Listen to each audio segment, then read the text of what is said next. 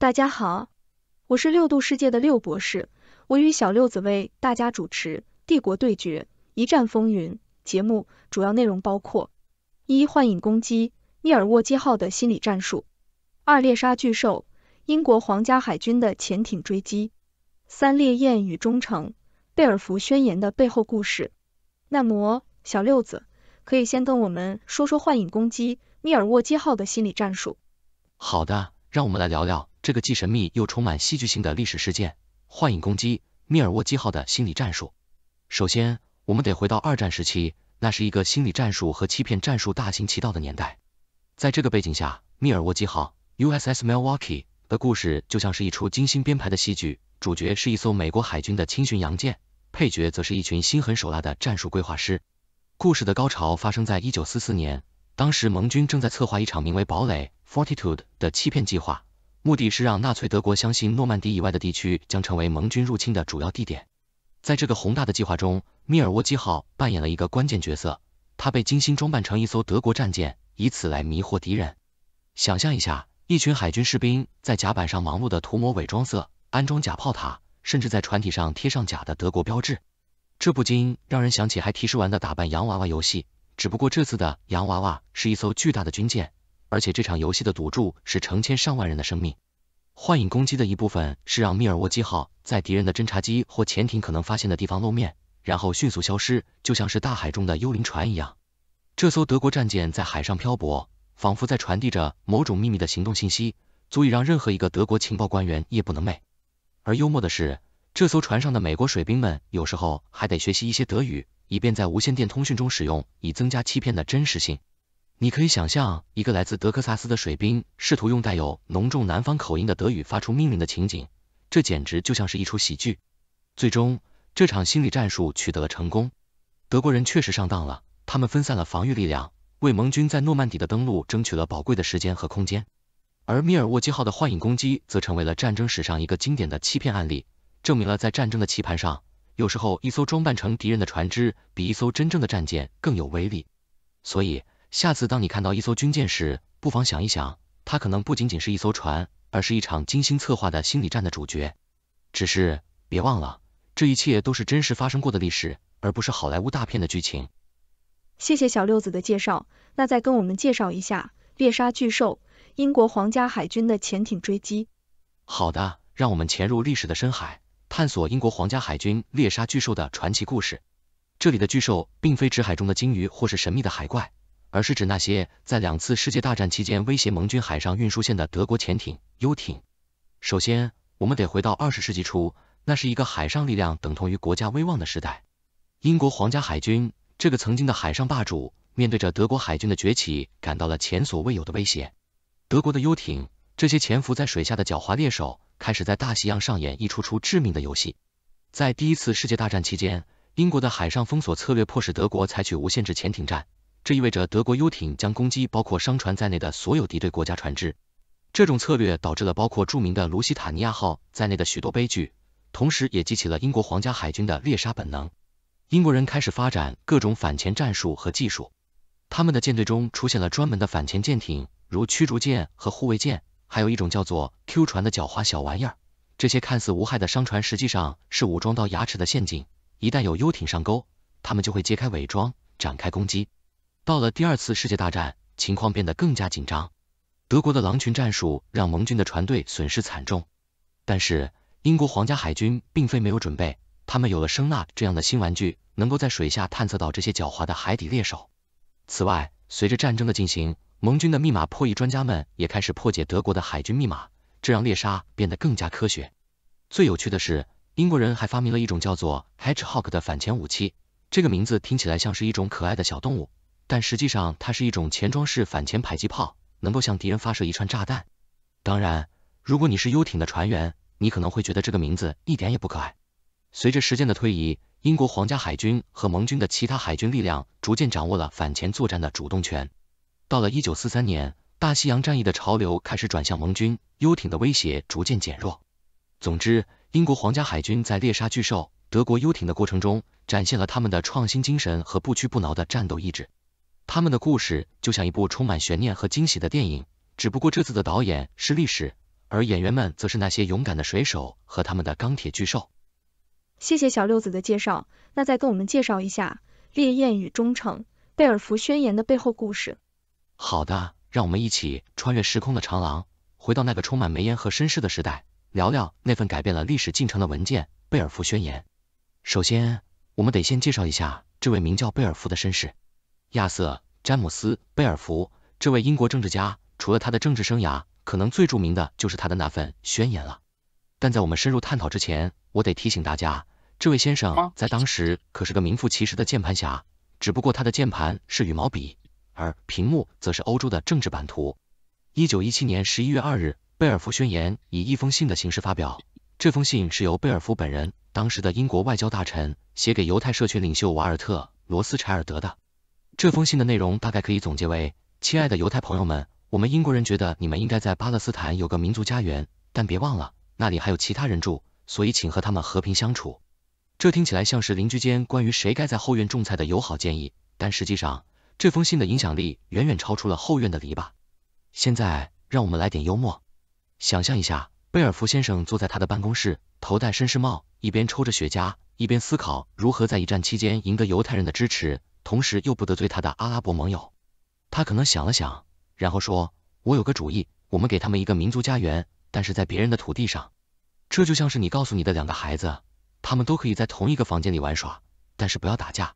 我们都知道，这种和平共处的方案通常不会有好结果。”贝尔福宣言的背后故事其实充满了现实政治的权衡和战略考量。英国人需要在一战中确保犹太人的支持，特别是俄罗斯的犹太人，因为他们在俄国政治中有一定的影响力。同时，英国也希望确保自己在中东的利益，特别是对苏伊士运河的控制。所以，贝尔福宣言可以说是一张精心设计的政治扑克牌。英国人希望通过它来赢得战争的胜利。不过，就像所有的政治承诺一样，贝尔福宣言的后果并不像他的初衷那样美好。他为后来的犹太人和阿拉伯人之间的冲突埋下了伏笔，而这场冲突一直持续到今天。可以说，贝尔福宣言是一份在历史上留下深刻烙印的文件。它的影响远远超出了它的原始目的，所以下次当你看到一份政治宣言时，不妨想想那位戴着绅士帽、抽着雪茄的贝尔福先生，以及他那份看似简单却充满复杂后果的宣言。这就是政治的魅力，也是历史的讽刺。亲爱的观众们，今天我们一起回顾了几个充满戏剧性和幽默的历史故事：密尔沃基号的幻影攻击、英国皇家海军与德国游艇的潜艇追击，以及贝尔福宣言的背后故事。这些故事都展现了历史的奇妙和人类智慧的创造力。在密尔沃基号的幻影攻击中，我们看到了战争中的心理战和欺骗战术的力量，以及士兵们的勇气和创造力。在英国皇家海军与德国游艇的潜艇追击中，我们看到了科技的进步和战术的演变，以及水手们的聪明才智和勇敢精神。而在贝尔福宣言的背后故事中，我们看到了政治的权衡和战略的考量，以及政治家们的智慧和机智。这些故事不仅仅是为了娱乐我们，更重要的是让我们思考历史的重要性和人类的决策对历史走向的影响。历史是一面镜子，它让我们看到过去的错误和成功，从而更好的应对未来的挑战。所以，亲爱的观众们，你们有什么样的想法？你们对这些故事有什么样的观点或问题？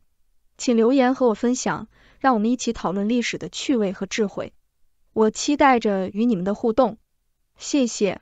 六度万事，您的六度世界私人助理，现在支持论坛资源搜索、问题解答、在线话题等强大 AI 功能。首先，注册或登录六度世界六度 World。然后按照屏幕上的方式点击右上角的机器人图标，并在开启的弹窗中选择六度万事。然后您就可以向六度万事提问，开始您的 AI 对话旅程了。今天六度世界网友最关心什么？六度教育咨询，帮您量身定做申请入学、选专业、找工作的个性方案。点击六度世界右上角机器人按钮，选择六度六度教育咨询，就可以开始对话了。你好，你好。请问你在教育方面有什么问题需要咨询？还准备在美国留学，希望了解美国本科留学相关信息。好的，我可以帮助你。首先，我想了解一下你的孩子目前的学习阶段是什么？他他是否已经完成了高中教育？今年高中毕业。了解了，那么他他是否已经开始准备 SAT 或这样的大学入学考试了？这两种考试是美国大学录取的重要参考因素。已经考过了 s。好的，那么请问你的孩子对于想要申请的专业有什么特别的考虑吗？或者他他对于未来的职业规划有什么想法？这可以帮助我们更好的选择合适的学校和课程。希望学电子工程，做人工智能方面的专家。非常好，电子工程和人工智能是非常有前景的领域。那么在选择学校方面，你们是否有任何特别的考虑？比如地理位置、学校规模、学费预算等等。希望在安全、工作机会多的大城市。希望学校有很好的电子工程系和教授。了解了。那么请问你的孩子是否已经开始准备申请材料？比如个人陈述、推荐信等，这些都是申请过程中非常重要的部分。已经开始准备了。好的，那么在申请过程中，你们是否遇到了任何困难，或者有什么不确定的地方？比如如何选择学校，如何撰写个人陈述，如何准备面试等等。如何选择学校？了解了，选择学校确实是一个重要而复杂的过程。那么你们是否已经了解了一些关于美国大学的排名信息，比如 US News、QS 等等？这些排名可以作为参考，但是最重要的还是看学校的专业设置、教授的研究方向以及学校的地理位置、规模等等是否符合你们的需求和期望。能不能比较一下 MIT、斯坦福、卡内基梅隆的计算机专业的特点？根据我找到的信息，MIT、斯坦福、卡内基梅隆都是计算机科学领域的顶级学校，每个学校都有其独特的优势。MIT 麻省理工学院，MIT 的计算机科学专业在全球享有极高的声誉。其强项包括人工智能、编程语言、软件工程等。MIT 的教育环境鼓励创新和实践，学生有很多机会参与到前沿的研究项目中。斯坦福大学，斯坦福位于硅谷，与许多世界顶级科技公司有着紧密的联系，为学生提供了丰富的实习和就业机会。斯坦福的计算机科学专业在人工智能、数据库、系统等方向都有很强的实力。卡内基梅隆大学。卡内基梅隆的计算机科学专业也是全球顶尖的，尤其在人工智能和机器学习方向有着领先的研究。卡内基梅隆的教育模式注重实践，学生可以通过项目学习来提升技能。总的来说，这三所学校都是非常优秀的选择。你的孩子可以根据自己的兴趣和目标，以及学校的地理位置、氛围等因素来做出决定。同时，申请这些学校也非常竞争激烈，需要做好充分的准备。做 AI 工程师在大学应该学哪些课程？如果你的孩子想成为一名 AI 工程师，那么他他在大学期间应该学习以下一些课程：计算机科学基础，这包括数据结构、算法、计算机组织与体系结构、操作系统、编程语言等课程，这些都是成为一名 AI 工程师的基础。数学，AI 工程师需要有扎实的数学基础，包括线性代数、概率论与统计、微积分、优化等。机器学习，这是 AI 的核心课程，包括监督学习、无监督学习、强化学习等内容。此外，深度学习也是非常重要的一部分。数据科学，AI 工程师需要能够处理和分析大量的数据，因此数据科学的课程也是非常重要的，包括数据挖掘、数据可视化、数据库系统等专业领域的课程。根据 AI 工程师想要从事的具体领域，可能还需要学习一些相关的课程。比如，如果想要从事自然语言处理，那么就需要学习自然语言处理的课程；如果想要从事计算机视觉，那么就需要学习计算机视觉的课程。软件工程。AI 工程师不仅需要理论知识，也需要实践技能。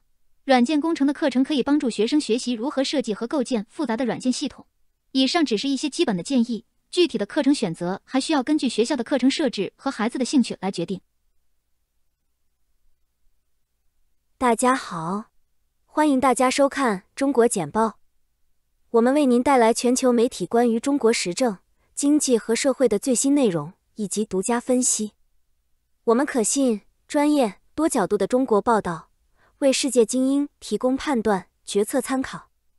中国简报使用多种语言发行，包括文字、视频、播客、书刊多种形式。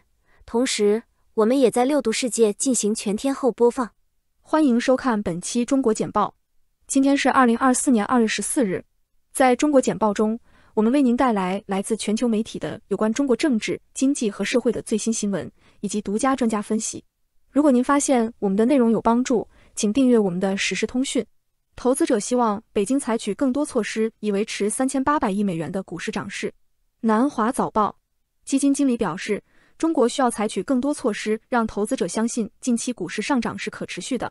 虽然支撑股市的措施已使内地和香港市场的资本恢复了三千七百七十亿美元，但一旦救助措施的兴奋消退，投资者将把注意力转向经济和企业盈利。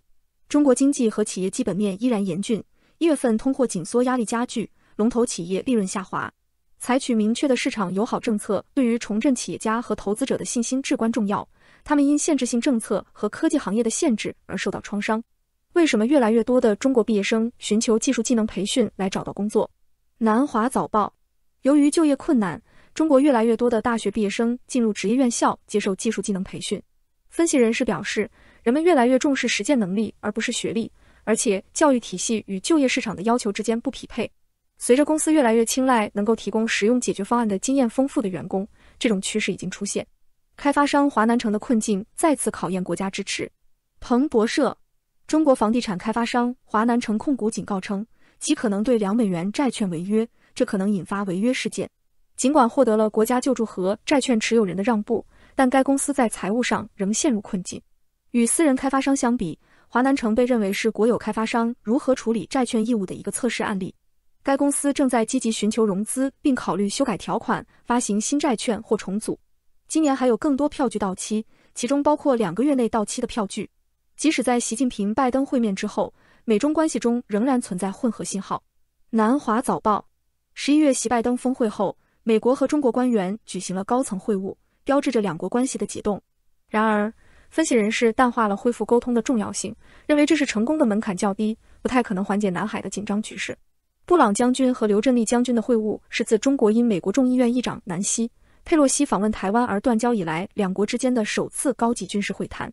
与此同时，中国人民解放军南部战区司令部派出海军和空军巡逻队前往南海，监视其认为扰乱的活动。美国和菲律宾在有争议海域举行联合演习。中国和美国在中国最高外交官王毅和美国国家安全顾问杰克·沙利文的会晤中，重申了在关税、投资限制和制裁方面的现有立场。美国官员还与中国同行成立了一个禁毒工作组。美国国会尚未与中国接触，针对香港驻美代表处立法，并阻止美国对中国人工智能和高科技领域的投资。预计习近平和拜登将于今年春天进行通话。美国财政部长珍妮特·耶伦计划访问中国，要求澄清非市场行为。随着市场假期结束重新开市，香港中概股下跌。彭博社：随着农历新年假期后恢复交易，在香港上市的中国股市下跌。投资者仍不确定政策制定者是否愿意阻止持续的市场下跌，并正在评估美国市场在通胀数据高于预期后的下跌情况。中国重振股市的努力效果有限。通货紧缩压力、房地产市场危机以及与西方的紧张关系等结构性问题继续给投资者带来压力。其他因素也在影响投资者情绪，例如摩根士丹利资本国际公司 （MSCI Inc.） 决定从其指数中删除一些中国股票，以及中国一月份信贷增长创历史新高。投资者将关注北京方面的政策信号，以及有关美联储和其他主要央行政策轨迹的线索。前苹果工程师因窃取商业机密被判四个月监禁。彭博社。前苹果工程师张小浪因窃取公司专有信息而被判处一百二十天监禁。张下载了一份二十五页的苹果文件，其中包含自动驾驶汽车电路板设计的示意图，并计划将这些信息带给一家生产具有自动驾驶功能的电动汽车的中国初创公司。法官建议张在最低安全级别的设施中服刑，并有机会向其他囚犯教数学。香港顶级屋苑假期期间零成交。彭博社，农历新年假期期间。香港十大私人住宅小区自二零一零年有记录以来首次出现无销售情况。这种缺乏活动表明，随着利率上升和经济放缓，香港房地产市场的低迷可能会持续下去，在中国造成了损失。据报道，买家正在等待政府采取更多措施来帮助房地产市场，这些措施可能会在本月晚些时候的该市年度预算中公布。美国众议院对华鹰派高层计划下周访问台湾。金融时报。美国众议院中国委员会主席麦克·加拉格尔 （Mike Gallagher） 将于下周率领议员代表团前往台湾，以表达对台湾即将上任的总统赖清德的支持。这次访问是在黎智英赢得选举一个月后，五月就职典礼之前进行的。华盛顿警告中国不要对台湾进行侵略活动，而中国则一再批评美国不应干涉其声称拥有主权的台湾。在时任众议院议长南希·佩洛西访问台湾后，中国于2022年切断了美国和中国军队之间的通讯。但同意在总统乔·拜登和中国国家主席习近平举行峰会后，于十一月重新启动这些渠道。美国将在西太平洋部署五艘航母，向中国展示实力。南华早报预计，美国今年将在西太平洋部署近一半的航母，以应对中国和朝鲜在该地区日益增加的军事活动。目前，美国已有三艘航母在西太平洋执行任务，还有两艘正在航行中。这将标志着十一艘航母中的五艘首次在该地区执行任务。美国海军第七舰队表示，这些演习的目的是加强海上一体化作战和战备。美国军方希望发出信号，表明它可以处理这些情况。同时，继续关注印度太平洋地区这一优先战场。随着中国和美国在有争议的黄岩岛问题上陷入军事对峙，以及朝鲜进行更多导弹试验，该地区的紧张局势继续加剧。美国持续密切关注台海局势。埃隆·马斯克在墨西哥的大型特斯拉工厂利用中国供应商，引发了华盛顿的担忧。彭博社：中国汽车零部件制造商越来越多地在墨西哥设立工厂，为特斯拉即将在该国开设的工厂供货。埃隆·马斯克邀请中国供应商到墨西哥复制特斯拉上海工厂的本地供应链。根据墨西哥国家汽车零部件工业协会的数据，二零二三年中国在墨西哥制造并出口到美国的汽车零部件价值将达到十一亿美元，比上年增长百分之十五。中国企业正在墨西哥商业指导方针下建立庇护公司，并利用该国友好的商业环境。由于担心危及自身在中国的利益。汽车制造商和一些全球供应商尚未公开谈论这一趋势。美国税务律师已经确定了一条途径：一家位于墨西哥的中国子公司可以生产完整的电动汽车，只要电池矿物或零部件不来自中国，就有资格获得七千五百美元的美国税收抵免。美国担心中国将以巨额补贴支撑的电动汽车涌入美国和全球市场。台湾发现十四架大陆飞机进行战备巡逻。南华早报，台湾国防部报告称。周三发现有十四架中国空军飞机在台湾岛附近活动，这些飞机正在与中国军舰进行联合战备巡逻。尽管台湾否认这些主张，但中国一直定期派遣战机和军舰对台湾宣示主权主张。包括美国在内的大多数国家都不承认台湾是一个独立国家，但美国反对任何武力占领台湾的企图，并致力于向台湾提供武器。北京不承认两国之间的非正式屏障及台湾海峡中线。澳门赌场股票因中国游客人数复苏而飙升。彭博社数据显示，农历新年期间，中国大陆游客人数大幅增加，澳门赌场运营商的股价飙升。美高梅中国控股、银河娱乐集团和永利澳门的股价均出现上涨。大陆游客的增加对于这个依赖旅游业的城市来说是一个积极的信号。该城市最近公布一月份博彩收入增长了百分之六十七。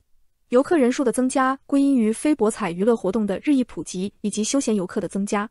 内地游客占入境游客总数的百分之七十三，高于二零一九年的百分之六十八，而香港游客则占百分之二十一。大众汽车在新的强迫劳动指控后，审查其在新疆的存在。彭博社在受到侵犯人权指控后，大众汽车正在审查其在中国新疆地区的活动。在有证据表明吐鲁番测试跑道建设过程中可能使用强迫劳动后，这家德国汽车制造商正在与合资伙伴上汽集团进行谈判。大众汽车还在新疆乌鲁木齐市设有一家小工厂，根据合同规定，该工厂必须在那里运营至二零二九年。该公司正在考虑提前解除合同，作为结束其在该地区活动的可能方式。美国立法者寻求正式调查药明康德和药明生物股价暴跌。彭博社。由于美国立法者呼吁对药明康德和药明生物进行正式调查，并可能将其列入制裁名单，药明康德和药明生物的股价在香港下跌。议员们声称中国公司对美国知识产权和国家安全构成威胁。药明康德否认了这些指控，称其业务不会对任何国家构成安全风险。自今年年初以来，这两只股票的价值均大幅下跌，跌幅接近百分之五十。药明生物成为近十个交易日亚洲波动幅度最大的股票。中国软件服务提供商在资金短缺之际压住人工智能。日经亚洲，尽管该行业的投资出现了更广泛的缩减，但将人工智能嵌入其产品的中国软件服务初创公司仍在吸引资本。例如，人工智能驱动的法律解决方案提供商 PowerLaw AI 和 SaaS 图形设计平台 JS Design 最近分别筹集了一千一百三十万美元和未披露的金额。人工智能工具使公司能够提供标准化产品并降低开发成本。然而，尽管人工智能在 SaaS 中的使用被视为初创企业的潜在生命线，但它是否会对经历大规模裁员和缺乏标准化的中国 SaaS 行业产生更广泛的影响，还有待观察。随着美国购物者兴趣减弱，Temu 在超级碗广告上花大钱。南华早报，中国电子商务应用程序拼多多 （PDD） 在美国被称为 Temu，希望重振其在该国摇摇欲坠的增长。该公司在超级碗期间投入巨资进行广告宣传，播放了六次广告，并提供了一千万美元的赠品。然而，观察到的十二月销售额环比下降百分之十二点五，一月环比下降百分之四点八，较二零二三年中期该应用超过百分之五十的增长大幅下滑。在该应用程序上购物的美国人数量也在下降。尽管如此，根据 Bloomberg Second Measure 的数据，Temu 一月份的销售额较二零二三年一月增长了百分之八百零五。是排名第二的 SpaceX 增长的四倍，远高于竞争对手亚马逊的百分之一点七。通过中国简报了解全球与中国相关的最新新闻分析和政策简报。我们的团队从各种来源，包括媒体、智囊团、政府机构和行业专家汇总、综合和总结最重要的信息。我们的使命是为您提供适合您感兴趣的特定领域的易于访问且极具价值的信息。我们了解了解与中国相关的最新动态的重要性。并致力于让我们的读者能够理解这些信息。访问我们的网站，加入对话，并了解与中国相关的最新新闻和动态。三 w 点六度 brief 点 com。六度旅行管家，你的旅行全策划。注册或登录六度世界，点击右上角机器人按钮，然后选择六度旅行管家，就可以开始与 AI 对话了。你好，很高兴能为你服务。你打算去哪里旅行呢？嗯。我想去希腊。太棒了！希腊是一个美丽的国家。你对希腊的哪些方面感兴趣呢？比如历史遗迹、美食、海滩或者其他的？嗯，海滩和美食。好的，了解了。你有没有任何饮食禁忌或者特殊的饮食要求，比如素食、无麸质食品等？嗯，不吃牛肉。好的，我会注意在推荐餐厅时避免牛肉。你计划的旅行时间是多久呢？嗯，四天。了解了，你是打算独自旅行，还是和他人一起？这会影响到旅行的安排。嗯，与父母一起。好的，我会考虑到这一点。你的预算大概是多少呢？这会影响到住宿和餐饮的选择。一千欧一天。好的，这是一个相当宽裕的预算。你对住宿有什么特别的要求吗？比如希望住在市中心，或者希望有海景，或者需要特别的设施？希望有海景。根据你的需求，我为你找到了一些在希腊的海景酒店。这些酒店都有很好的海景，你可以根据你的喜好和预算来选择。接下来，我将为你规划一个四天的旅行行程。你希望在这四天里每天都去海滩吗？还是希望有一天或两天去参观一些历史遗迹或者市区？一天海滩，两天历史遗迹，一天市区。根据你的要求和我从网络上找到的信息。我为你制定了以下的旅行计划：第一天，海滩，你可以选择去希腊最美的海滩之一，比如 i l o f o n a s i 海滩或 Navigo 海滩。这些海滩都有清澈的海水和美丽的景色，在那里你可以尽情享受阳光和海滩，或者参加一些水上活动。第二天和第三天，历史遗迹。第二天，你可以参观希腊最著名的历史遗迹之一雅典卫城，在那里你可以看到帕台农神庙和其他古代建筑。第三天。你可以选择去德尔菲，这是一个古代的宗教中心，也是世界遗产之一；或者你也可以去克诺索斯宫，这是欧洲最古老的城市之一。第四天，市区，在雅典市区，你可以参观一些有趣的地方，比如古老的坡卡区、现代的购物中心，或者一些美术馆和博物馆。你也可以在当地的餐厅品尝希腊美食，比如希腊沙拉、烤羊肉和橄榄油面包。住宿推荐，根据你的预算和要求，我为你找到了一些海景酒店的推荐。这些酒店都有优美的海景，同时也提供高质量的服务。餐饮推荐，在希腊，你可以尝试一些当地的美食，比如希腊沙拉、烤羊肉和橄榄油面包。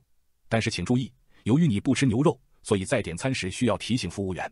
六度万事，您的六度世界私人助理现在支持论坛资源搜索、问题解答、在线话题等强大 AI 功能。首先，注册或登录六度世界六度 World。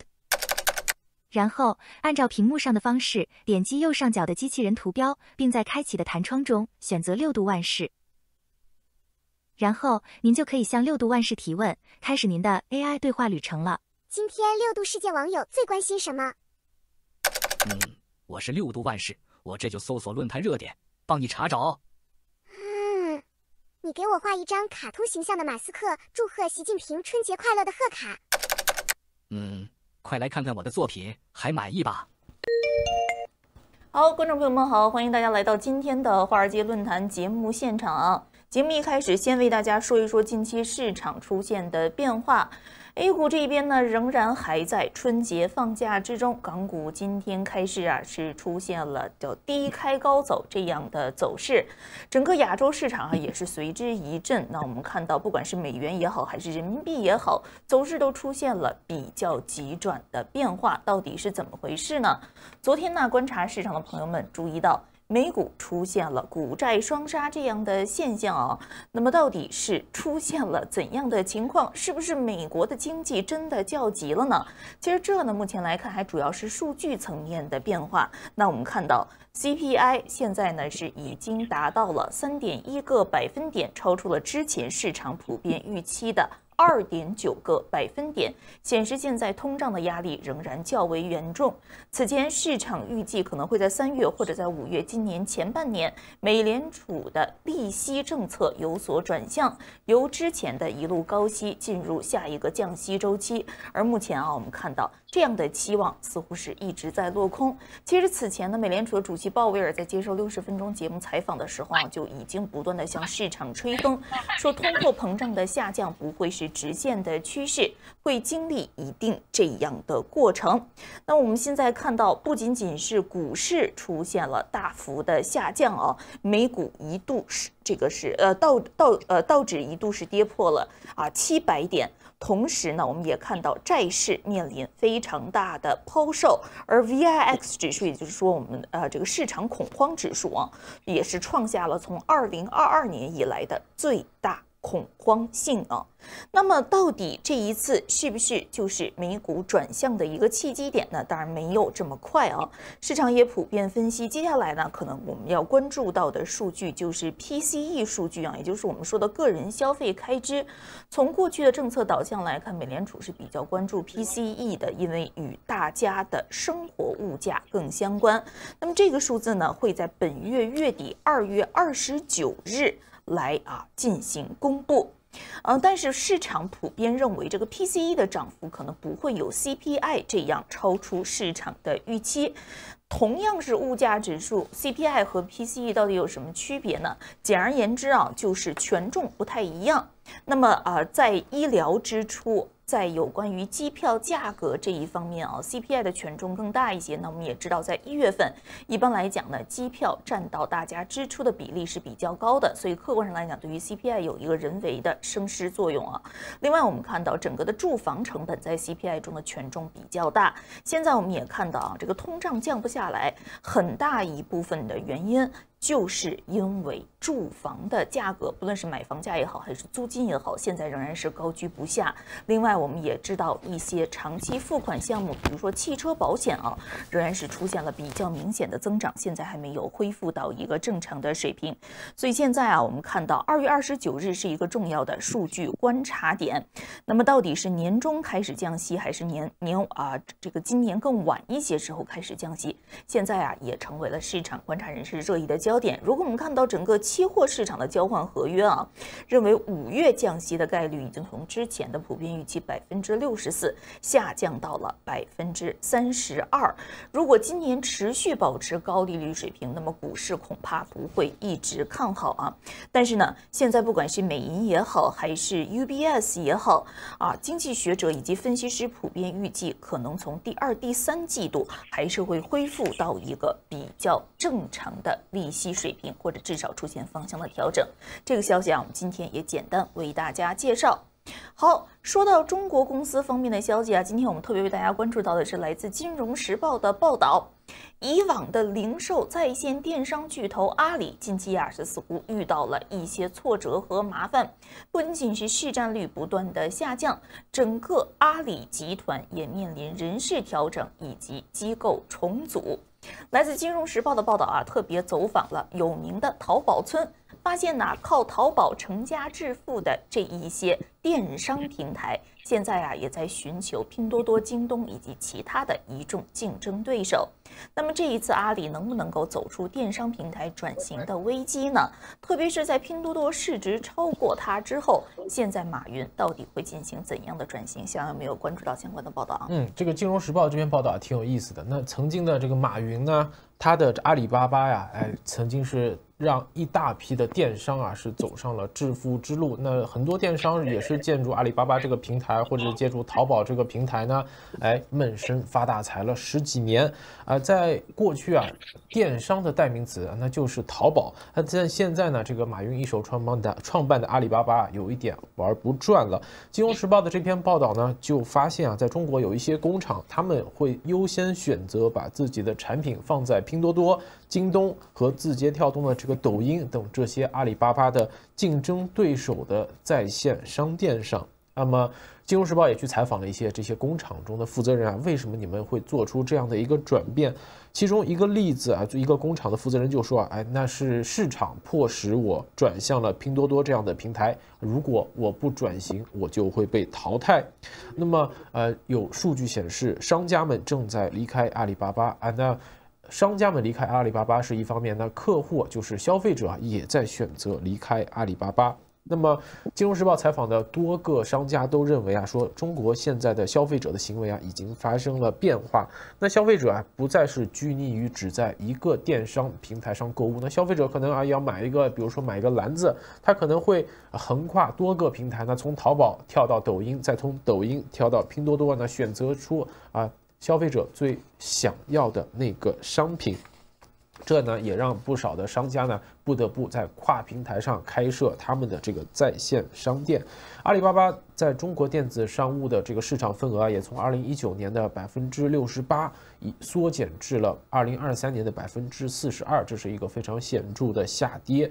但是啊。呃不，这个还不是最糟糕的消息。那有分析业界的分析师说啊，阿里巴巴现在采取的各种的这个救市举措啊，这个挽救市场占有率的举措都没有阻止阿里巴巴和淘宝本身市场份额的下滑。那么为什么会出现一个这么大的变化？那么？金融时报似乎是从一个上呃这个在淘宝也好，在抖音也好上有跨平台电商门店的商家中啊得到了一个答案。那么这个商家就说啊，拼多多的工市场工作人员会带着这个商家到上海的拼多多的总部参参加战略会议，那还会啊。直接就跟商家进行沟通，就哪些产品类型需要增加供应啊，提出建议。而形成鲜明对比的是，阿里巴巴这边是不会干预，呃，不会给这个呃这个在阿里巴巴上开店的商家任何的指南或者是任何的这个指导啊，这是一个非常显著的对比。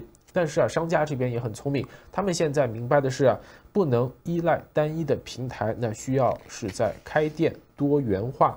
那么，《金融时报》的这篇文章举的例子也提到，哎，有一有意思的是呢，一个商家他们的这个销售的利润呢，利润的大头或者是更赚钱的这个方式啊，那并不是在拼多多，而是在于淘宝和京东上他们销售的产品啊。这些商家可能他们的这个获利润的概率、获利润的百分比更高。当然了，也有商家是拒绝把他们的产产品啊在拼多多上上线。因为有的商家就觉得啊，你们拼多多的这个消费者消费群体啊过于节俭，那我们我们本身的产品啊，这个质量好，价格呢不能压到这么低。那如果说我们啊这个陪着成本去赚吆喝，那最后啊可能是一个折呃舍本的买卖。那么归根结底啊，那这个《金融时报》这篇文章里有一句话说的，我觉得可呃是值得探讨的，呃。这个世界一个商家之口说出来的说啊，这个新冠疫情大流行之后，每个人的消费能力都降低了。当然了，《金融时报》也是尽可能的去啊举例采访更越来越多的这个商家啊，去探究为何会从这个。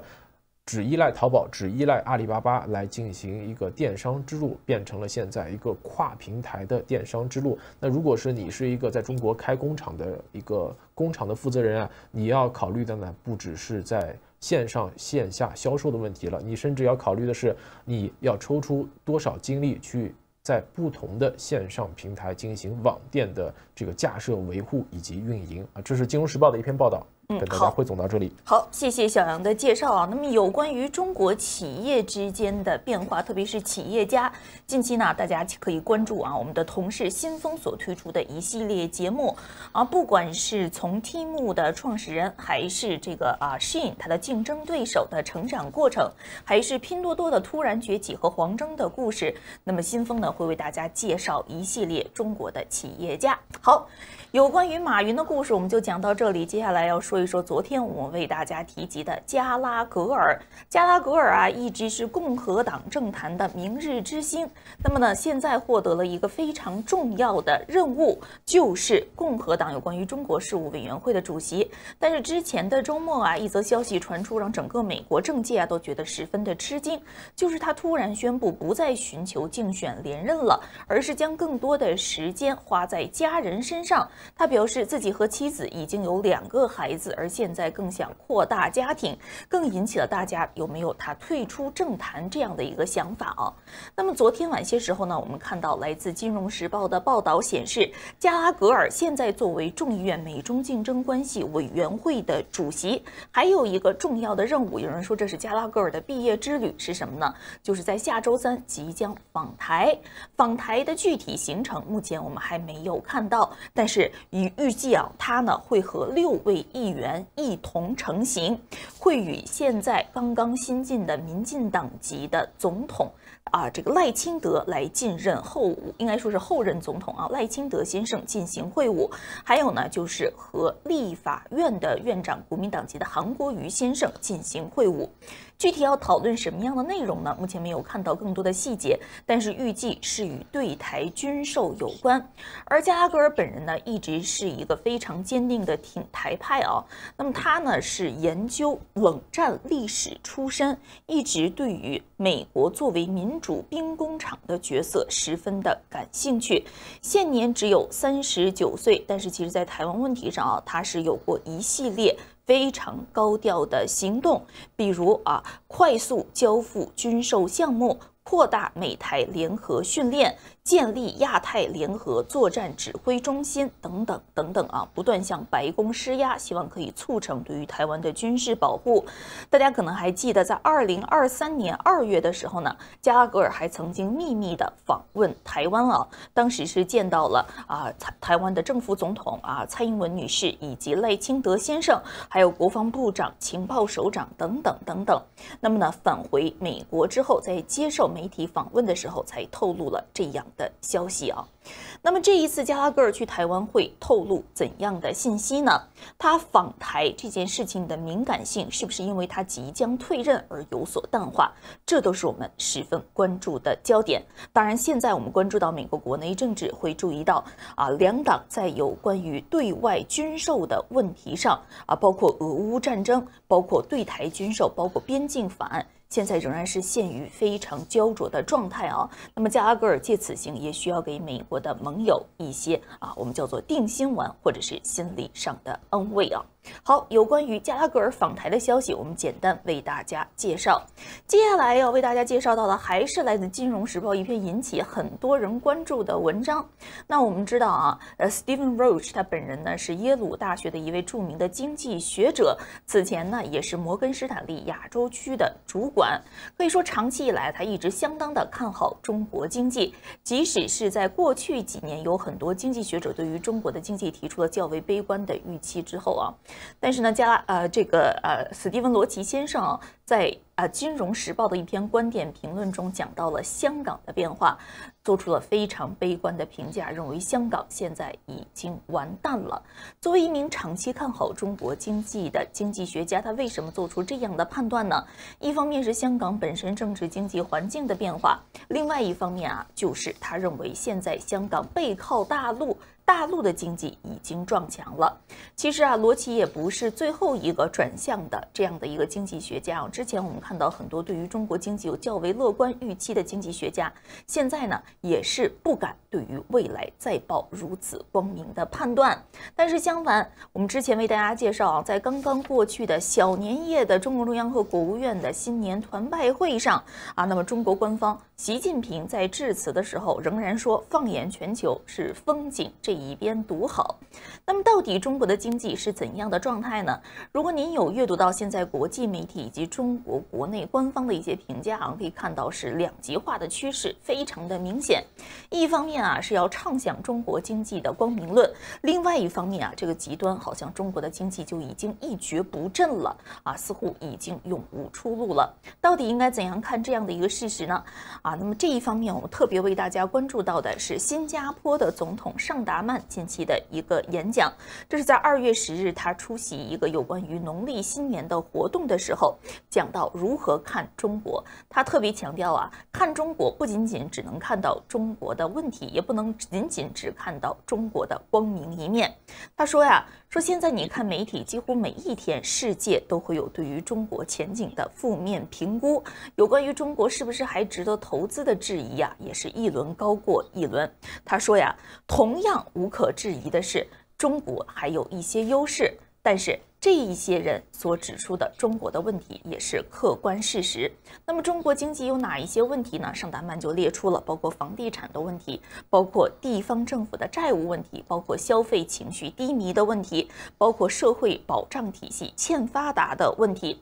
那么中国到底有哪一些优势呢？在他看来，不管是电动汽车，还是工业机器人，还是中国的整个制造生态体系，还是物流啊这样的一个完整的物流线啊物流系统，还是中国强大的人才储备，还有地方各层面的发展机会，仍然是中国不可小觑的优势。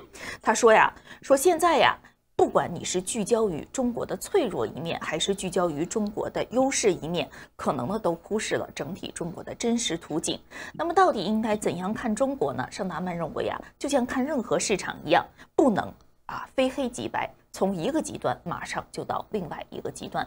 这呢也作为我们今天与大家特别分享的一段内容。如果大家对尚达曼的演讲有兴趣的话，我们也会在稍后的华尔街现场节目中为大家完整的带出。哎，说到有关于中国经济啊，前几天呢，何明先生也与我分享了尚达曼的这一段演讲。何明先生现在啊，好像是可以通过声音的方式与我们连线。我们也想简单的请何明先生评价一下，到底怎样看待现在舆论上对于中国经济两极的评价？二零二四年中国经济到底可能会走向怎样的一个趋势啊？嗯，好，何斌先生可以说了。李琦不是好。啊，李琦不是好，小杨好啊！今天是想尽办法啊，跟大家能够有一个联系，因为今天是很重要的日子啊，就是啊，借这个机会感谢这个网友们对我们的这个支持。我现在的流量啊，非常的有限啊，不不要以为我是生活在一个阳光灿烂的地方，实际上我所在的地方的环境呢，比想象的要要要。啊，比你们在纽约的时候要艰难很多啊，艰难很多。现在我不知道信号怎么样。我觉得国际的媒体关于中国的报道和中国现实的经济的环境呢，在很大的程度上是一致的。但是呢，这些观察、这些现实的感觉到这些问题，跟中国政府正好形成一个一个对立。如果你把中国政府的声音再加上，这些唱衰的声音放在一起，大体上就是中国的真实的情况。中国政府仍然是对这个经济有非常多的工具、非常多的这个空间来使用，但是在过去在过去的一年中间，使用的是非常的糟糕。正如我在这个几天之前的节目中间讲，中国的经济问题最大的问题就是习近平没有释放出一个。让大家觉得未来有希望的这么一个一个场景，也就是说呢，所有的政策基本上是在大家的这个预期范围之内啊。正如李奇博士之前讲的，有一些政策如果是在大家的这样一个预期范围之内，那么这个政策的功效就大大这个降低。那么现在城市在看谁中国，很多的企业家也陷入到一种困境之中。在这种情况之下，如果你政策的释放还是那种慢吞水，还是那种所谓的定力，那么对市场的刺激就非常有限。那么唱水就有可能会成为一个实现性性的运。打破这个僵局的一个最简单的方式，就是要释放出强有力的信号，而这个信号是要超过大家的预期。好，谢谢和平先生的介绍啊。那我们看到和平先生现在啊是穿的非常的清凉啊。那个情人节的第一个祝福，先是献给了给我们打赏的网友朋友们啊。那么和平先生今天啊，在稍后的环节中啊，也会以声音的形式来参与我们多个重要话题的讨论。那我们也感谢和平先生能在百忙之中、艰苦的条件下啊，带宽不给力的情况下与我们网友连线。希望和平先生啊，能够在离开导播室的日子里面度过一个轻松。松的情人节以及新年的假期啊，好，和平先生，我们再会。好，接下来要谢谢，再见。接接下来要为大家聊六度旅行管家，你的旅行全策划。注册或登录六度世界，点击右上角机器人按钮，然后选择六度旅行管家，就可以开始与 AI 对话了。你好，很高兴能为你服务。你打算去哪里旅行呢？嗯，我想去希腊。太棒了！希腊是一个美丽的国家，你对希腊的哪些方面感兴趣呢？比如历史遗迹、美食、海滩或者其他的？嗯，海滩和美食。好的，了解了。你有没有任何饮食禁忌或者特殊的饮食要求，比如素食、无麸质食品等？嗯，不吃牛肉。好的，我会注意在推荐餐厅时避免牛肉。你计划的旅行时间是多久呢？嗯，四天。了解了，你是打算独自旅行还是和他人一起？这会影响到旅行的安排。嗯，与父母一起。好的，我会考虑到这一点。你的预算大概是多少呢？这会影响到住宿和餐饮的选择。一千欧一天。好的，这是一个相当宽裕的预算。你对住宿有什么特别的要求吗？比如希望住在市中心，或者希望有海景，或者需要特别的设施？希望有海景。根据你的需求。我为你找到了一些在希腊的海景酒店，这些酒店都有很好的海景，你可以根据你的喜好和预算来选择。接下来，我将为你规划一个四天的旅行行程。你希望在这四天里每天都去海滩吗？还是希望有一天或两天去参观一些历史遗迹或者市区？一天海滩，两天历史遗迹，一天市区。根据你的要求和我从网络上找到的信息，我为你制定了以下的旅行计划。第一天。海滩，你可以选择去希腊最美的海滩之一，比如 Elefonsi 海滩或 Navigo 海滩。这些海滩都有清澈的海水和美丽的景色，在那里你可以尽情享受阳光和海滩，或者参加一些水上活动。第二天和第三天历史遗迹，第二天你可以参观希腊最著名的历史遗迹之一雅典卫城，在那里你可以看到帕台农神庙和其他古代建筑。第三天你可以选择去德尔菲。这是一个古代的宗教中心，也是世界遗产之一。或者你也可以去克诺索斯宫，这是欧洲最古老的城市之一。第四天，市区，在雅典市区，你可以参观一些有趣的地方，比如古老的坡卡区、现代的购物中心，或者一些美术馆和博物馆。你也可以在当地的餐厅品尝希腊美食，比如希腊沙拉、烤羊肉和橄榄油面包。住宿推荐，根据你的预算和要求，我为你找到了一些海景酒店的推荐。这些酒店都有优美的海景。同时也提供高质量的服务。餐饮推荐，在希腊，你可以尝试一些当地的美食，比如希腊沙拉、烤羊肉和橄榄油面包。但是请注意，由于你不吃牛肉，所以在点餐时需要提醒服务员。希望这个旅行计划能满足你的需求。如果你有任何问题或需要更多的信息，欢迎随时向我提问。